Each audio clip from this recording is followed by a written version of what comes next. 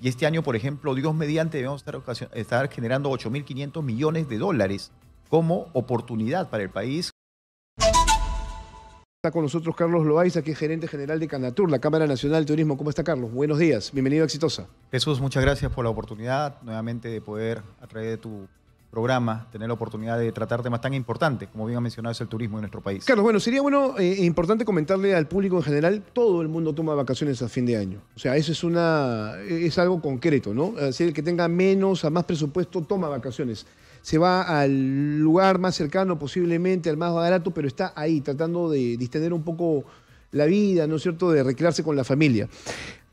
¿Cómo estuvimos el año pasado por estas épocas? Bueno, Recordarás pues que tuvimos a partir del 7 de diciembre una convulsión social muy fuerte que hizo que definitivamente la incertidumbre y la desconfianza de poder viajar por temas de seguridad se incrementara y eso obviamente hizo que lo que es, como bien mencionas, una temporada muy atractiva para el turismo, eh, aproximadamente el 25% se incrementa el turismo de, condiciones eh, y de meses regulares en transporte terrestre, nada más, ¿no? Entonces te puedes imaginar lo que significa diciembre, pues se viera afectado. Y eso en, hablando del turismo interno. Claro, las regiones se movilizan mucho más, ¿no es cierto? Van de un lugar a otro, gente que va de Lima, por ejemplo, a la región o de la región a Lima para pasar fiestas en familia. En turismo tenemos tres categorizaciones. Tenemos lo que es el turismo emisivo, que son nuestros connacionales que viajan al extranjero. El turismo interno, que son nuestros connacionales que se mueven a nivel eh, regional, interregional. Y el turismo receptivo, que es ese acoger a los extranjeros a que vengan al país, que es muy importante también porque nos permite generar divisas al país y este año, por ejemplo, Dios mediante, debemos estar, estar generando 8.500 millones de dólares como oportunidad para el país, lo que es inyección al fisco, divisas que van a ayudar y que definitivamente pues generan desarrollo y generan progreso en todo el país. Esos 8.500 millones de dólares que tú dices que se van a generar este, durante esta temporada fueron las que nos faltaron el año pasado. El año pasado aproximadamente se habrán perdido unos 2.000 millones, ¿no? 2.000 millones. Aproximadamente, eh, por todo lo que fue diciembre. ¿Y cuál fue el impacto para el sector? Bueno, obviamente eh, todo lo que significa el, poder generar caja, por así decir, ¿no? en lo que es diciembre, no se tuvo la oportunidad de hacerlo.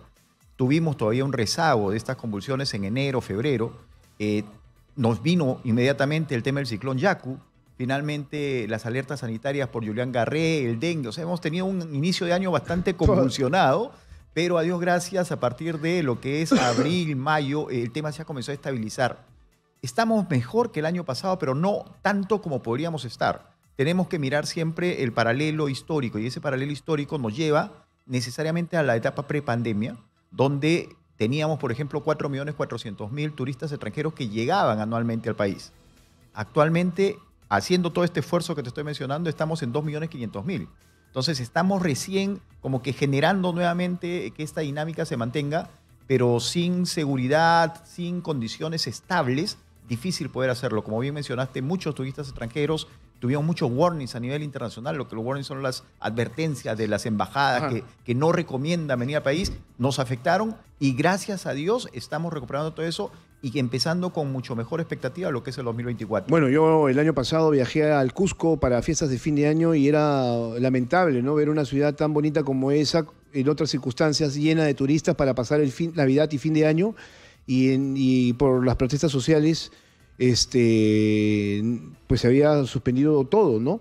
Y eso me llamaba a mí la atención porque, claro, tú tenías inversiones que se habían hecho para, por ejemplo, remodelar, no sé, eh, hoteles, este, restaurantes, para dar una mejor oferta en diferentes aspectos, y eso se había este, perdido. Bueno, lamentablemente tenemos conocimiento de que este año inversión es prácticamente cero en el sector turismo en el país, porque obviamente los inversionistas buscan de que haya un desarrollo, hay una proyección, el próximo año esperamos sí tenerlo. Tenemos una feria muy grande, una convención grande que se llama SAJIC, que es una conferencia de, inversiones inmobiliarias en el mes de marzo, que están viendo los principales inversores en turismo en el mes de marzo, que ojalá podamos convencerlos para que vuelvan a poner esas expectativas ¿no? y, ese deseo de, querer que, hacer que el turismo del Perú desarrolle.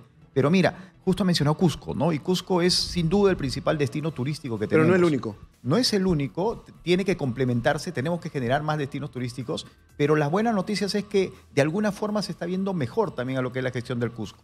Hoy por hoy, por ejemplo, es, notorio y en las noticias se comenta que a partir del día 20 se va a comenzar a tener una plataforma para la venta virtual de entradas, se está generando un aforo dinámico, se está generando el ver a Machu Picchu, no solamente como lo que es la visita a la Yacta, ¿no? la visita a esta parte histórica, monumental, sino también como generar destinos, eh, generar una oportunidad de experiencia en la misma ciudad de, de, lo que es avistamiento de aves, de lo que es avistamiento de orquídea, de lo que es generación de artesanía. Y ojalá en el tiempo podamos tener eso que tanto anhelamos antes de pandemia, que era una movilidad más rápida. Por ejemplo, fuiste al Cusco y cómo llegas a Machu Picchu, ¿no? O sea, ese tipo de, de, situaciones que tienen que mejorarse de todas maneras. Eso es lo que se llama desarrollo de polos turísticos, pues, ¿no? Así es. O sea, más allá del atractivo que ya tienes este, y que es el representativo por el que todo el mundo quiere venir, a la larga tú empiezas a generar experiencias, ¿no? Que es lo que busca ahora un, turista, no tanto interno como externo. Tienes el recurso valiosísimo e irrepetible, que es Machu Picchu. Lo que tenemos que comenzar a generar es que esta ciudad, todo lo que significa el atractivo que tenga, se complemente. ¿no? ¿Cómo llamábamos antes a lo que es el pueblo de Machu Picchu? Aguas calientes. ¿Por qué? Porque tiene una emanación de aguas termales muy atractivas y que no se aprovechan adecuadamente. ¿no? Hace mucho tiempo que no se habla de los caminos del Inca, por ejemplo y de las rutas que, tienes para, para, el camino del Inca, ¿no? Tú tendrías por, ahí que desarrollar un poco más de turismo vivencial. Pero hay que trabajar muchas cosas que van de la mano, ¿no? Yo escuchaba hace poco tu entrevista a Martín Hidalgo y hablaban de lo que había sido ¿no? la gestión legislativa. Tenemos, por ejemplo, lo que es la Ley Nacional de Turismo que necesita ser actualizada hace ya varios años. Ya, pero no le ponen foco a eso, pues. Por eso mismo, ¿no? O sea, lamentablemente el turismo es política de Estado en el papel pero en la práctica no se le mira ni se le da el suficiente empeño que podría tener para llevarnos al desarrollo. Okay, eso es en el, marco, en el marco legislativo, pero ahora, en el marco de impulso al sector, por ejemplo, lo último que se dio con la pandemia y en el proceso esto de conflictos sociales es que se le dio algunos beneficios a la, industria turística, ¿no es cierto? Por ejemplo, con el tema del pago de impuestos. ¿Esto se permanece o y es algo que con el tiempo se ha ido es, es, es todavía, todavía, todavía es bastante escaso ¿no? este apoyo este apoyo y, está orientado básicamente a la pequeña hasta mediana empresa, pero la gran empresa, que es la que invierte, no tiene lamentablemente el apoyo que se solicita, que no es más que ponernos a nivel competitivo también con Latinoamérica. ¿no? Hay un impuesto, por ejemplo, que es el impuesto de internamiento de activos netos, el famoso ITAN, que ya la mayoría de países de Latinoamérica no lo aplican para lo que significa inversiones en todo lo que es infraestructura turística, en todo lo que es otro tipo de infraestructura.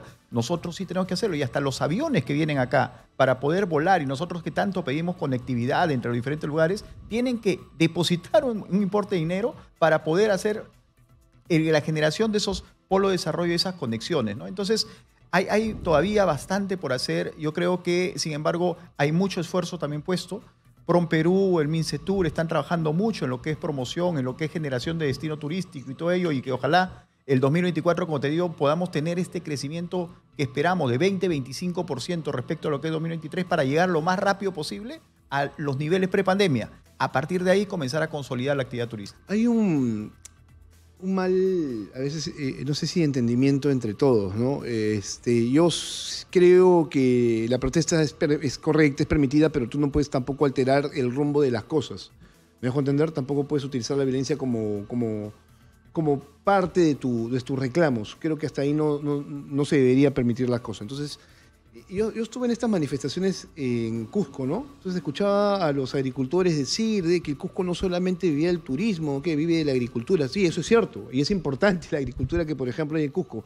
Más adelante hablaremos de otras, de otras regiones, pero yo mm, trataba de entenderlos en sus reclamos y me parecían justos, pero también me, no, no, no, intervine porque no era mi problema en ese momento, pero yo decía de manera interna parece que no entienden que ellos también viven del turismo, porque aquello que sacan de la tierra termina siendo utilizado por los agentes turísticos para dárselos a los turistas. Entonces había una mala interpretación o gente que estaba motivando este, estas acciones de una manera er, errada, ¿no? Y nos hemos mal acostumbrado, ¿no? Nos hemos mal acostumbrado a la cultura de la protesta, del que habla más cierre de vías, del que grita, ¿no? Del que grita tiene que ser escuchado y tiene que ser atendido. Y lamentablemente eso condena actividades como el turismo, ¿no? El no tener paz, paz social el no tener un, ambiente seguro, un ambiente tranquilo, hace que el turista sencillamente decida no ir por allá. Y no ir por allá significa no venir al Perú. Y miren, no venir al Perú significa no generar divisas. El turismo del año 1985 al año 2000 fue la segunda fuente de divisa más importante que tuvo el país.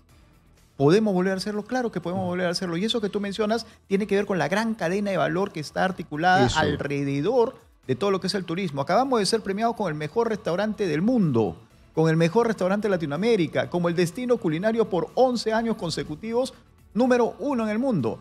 Uno diría, ¿y eso qué tiene que ver? Pues para ser el país con esa gastronomía tan rica para todos, tenemos definitivamente detrás de nosotros una gran cadena de valor también, que llega hasta el campesino de la zona más alejada de nuestros Andes peruanos a hacer una papita nativa que nunca la tienen en ningún otro lado y que llega a esa mesa. Entonces, si no tenemos estas condiciones de que el turista venga, aprecie esta cocina, aprecie nuestra gastronomía, aprecie este, este plato y pueda llegar hasta ese nivel de campesino, Jesús, ¿cómo llega eso hasta acá? El camionero, el, taxista, los arreadores, todos están vinculados a la actividad económica. Carlos, permíteme por favor, tengo que hacer una pausa y volvemos contigo. Creo que es importante hablar en exceso de cómo se encuentra el sector turismo a estas alturas del término del 2023 y cuáles son las predicciones del 2024 con fenómeno del niño.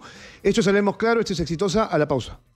Estamos hablando en extenso sobre el sector eh, turismo que es, eh, que es para mí eh, este, positivo, de que esté mejorando, de que se creen más este, puestos de trabajo, de que hayan eh, más turistas del país y de fuera interesados en estos atractivos turísticos de las regiones que tenemos. Y, ahora lo que toca es promover mayor inversión para el próximo año, ¿no? Como nos lo estaba comentando Carlos Loaiza, que es presidente de Canatur. Carlos, este, entonces, bueno, Estábamos hablando del Cusco, que por sí es el barco insignia del turismo en el Perú. Muchos vienen por Machu Picchu, pero no es el único destino. Tú me estabas comentando que hay más regiones que en este momento están generando gran atractivo de los turistas que están ya separando fechas. Sí, el perfil del turista definitivamente después de la pandemia ha cambiado también bastante, ¿no? Es un turista más vivencial que busca tener un espacio de mayor contacto con la naturaleza, de mayor contacto con lo que son los elementos que están alrededor y que le podrían generar pues una mayor eh, sensación de bienestar, ¿no? El turismo de bienestar y todo ello. Entonces tienes ciertos sectores como por ejemplo el tema de San Martín, la parte de Tarapoto, la parte ¿no? del Alto Mayo, que ha generado también todo en la selva circuitos maravillosos de contacto con la naturaleza, de avistamiento de aves, de ver lo que es el tema de la, eh, eh, del ecoturismo, ¿no? de lo que es también la propia agricultura, la propia generación de los productos típicos que hay en la zona. Tienes aquí cerquísima a nosotros también todo lo que es este gran, este gran oasis que tenemos, que es en Ica y próximo a tenemos todo lo que es Paracas, todo lo Oye, que gran destino, Paracas, e Ica, eh, además que es muy cerca a Lima y muy económico también para quien quiere tomarse vacaciones cortas. Es, es uno de los principales destinos que atrae precisamente eh, mucha afluencia turística de público interno, sobre todo, ¿no? de público nacional. Ahora para fiestas eh, de, de, Navidad y Año Nuevo es uno de los destinos que se estima va a tener una acogida bastante grande, por lo otro que menciona, ¿no? que es la proximidad. Ahora hay un tema que complementa esto bastante bien y es el tema de la seguridad. ¿no? En tanto nosotros generemos espacios y eh, vías de acceso seguras, vamos a tener de todas maneras un buen desarrollo de turismo en todos estos lugares. Por eso es que también nos preocupamos mucho en que exista esta seguridad de antemano porque le da confianza y la confianza alimenta el turismo. Ok, a ver, eh, hablamos de seguridad y la seguridad tiene muchas características. Eh, este, eh, tú, hablas de la seguridad en cuanto a infraestructura, ¿no es cierto? Que, por ejemplo, un aeropuerto tenga un proyecto para, para, por ejemplo, acercar a determinado destino a los turistas para que no tengan que ir, por ejemplo, en transporte informal. Y hasta seguridad física, Jesús. fíjate, eh, hablando ah, de ICA, por ejemplo, el tema de Barrio Chino. Claro. Tú escuchas que va a haber una movilización en Barrio Chino, qué sé yo. Y te regresas. Inmediatamente todas las reservas que se tienen hechas y que están generando desarrollo en ICA, en, Paracas, ¿no? en, Pisco, bajan o se anulan sencillamente. Eh, ¿Qué tanto complica eh, la inseguridad ciudadana al turismo? Definitivamente mucho, ¿no? Definitivamente mucho. Es, es, es, eh, es una de las principales variables que nos ha demostrado las últimas manifestaciones que hemos tenido en diciembre, enero y febrero, los lugares en los cuales ha habido mayor convulsión, en, los que la autoridad no ha podido recobrar rápidamente lo que es el orden público, la paz social, el generar condiciones de seguridad, son los lugares que más se han visto afectados y si uno analiza eso a la luz también de lo que es la población económica activa, económicamente activa de cada uno de estos departamentos, si uno analiza también lo que es su Producto Bruto Interno que va a generar el año, uno va a ver claramente que estos lugares en los cuales ha habido más convulsión social y más inseguridad física van a ser los que definitivamente sus indicadores han sido más negativos. Mientras que otros lugares como Cajamarca, por ejemplo, que se reactivó muy bien y rápidamente para carnavales este 2023 ya, los indicadores que están teniendo en turismo son muy positivos ¿no? y son atractivos. Entonces eso definitivamente nos, invita a pensar en que el turismo, en efecto, es una actividad muy transversal que para bien o para mal, todas las actividades que se involucran con él y que el turismo también puede impactar, van a tener ¿no? una, generación de doble vía que nos va a afectar o nos va a beneficiar. Bueno, claro, la cadena es bastante amplia, ¿no? O sea, estamos hablando de, de operadores en diferentes aspectos, ¿no? Eh, pues, este, a ver, eh, están los operadores de, no sé, este, de deportes extremos, eh, están los gastronómicos, están este, eh, los, los mismos guías turísticos, ¿no? O sea, Y las los de posibilidades- restaurantes, bebidas. eh, Y las posibilidades son ilimitadas en realidad, ¿no? O sea, hay, hay situaciones que tenemos en el Perú, felizmente, somos agraciados en tener mucho recurso turístico, lo que tú mencionabas, ¿no? Tenemos tal foco que nos llama la atención rápidamente turísticamente, pero ¿qué tenemos que hacer? Tenemos que comenzar a generar que hayan otras actividades que le den valor a ese recurso turístico para ojalá convertirlo en un destino turístico. Y otra cosa linda que tiene el turismo es su descentralización. O sea, el turismo no se puede llevar de un lugar a otro.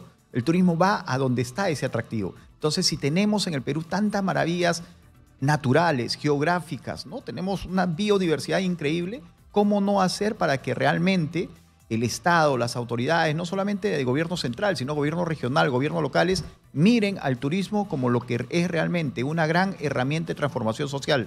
Que el día que realmente lo asuman, vas a ver, vas a ver lo que se logre. A mí me apasiona mucho el tema del turismo porque, claro, te permite salir, ¿no? Este, por ejemplo, en el norte está el tema de las ballenas que va desde jun- no, julio, agosto, septiembre y octubre, ¿no?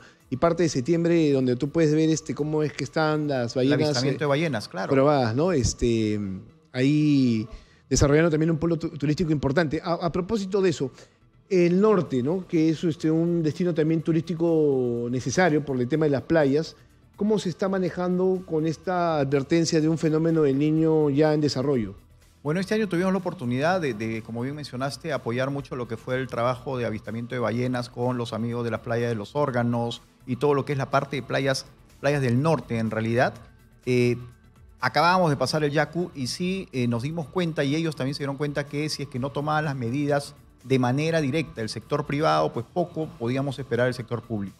Afortunadamente ha habido eco, sin embargo, y sabemos que había un desplazamiento bastante grande de maquinaria, de recursos y de prevención para en caso sucediera alguna co- condición similar al Yaku o mayor, se pueda tener una rápida reacción.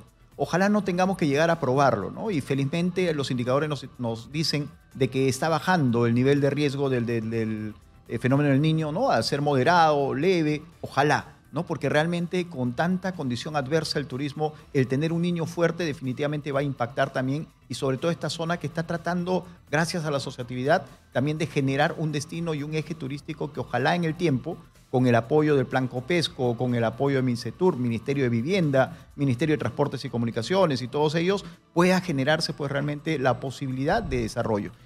Se vienen, eh, bueno, las, las fiestas de fin de año, Navidad y año, y Año Nuevo, ¿no es cierto? Bueno, en Año Nuevo todos los destinos están abiertos, pero las fechas más significativas y de mayor ingreso para cada región son el carnaval en Cajamarca, que es importante, ¿no? Cajamarca y Sierra Central, ¿no? Claro. Cajamarca, Junín y Ayacucho. Ok, y luego fuerte. se viene en Puno la Candelaria, que lo van a volver a tener de- después Febrero. de la suspensión del año pasado, Así ¿no? es. Ahora, eh, bueno, normalmente la Candelaria tiene un anticipo casi similar al de Cuaresma, ¿no? Y ahora Semana Santa está adelantado. O sea, Semana Santa estamos hablando de marzo, ¿no? No llega a abril, Semana Santa. Entonces, Carnavales es casi la primera, segunda semana O de sea, febrero. ahí ya tienes dos fechas importantes Vamos de, de a- ingreso de, de- de- de divisas, de, Vamos dinero para, para va- cada región. Vamos a empezar con mucha fuerza lo que es turismo interno, que es básicamente esto, todo lo que es turismo receptivo. También hay participación fuerte de Perú en ferias internacionales que se generan a inicios de año.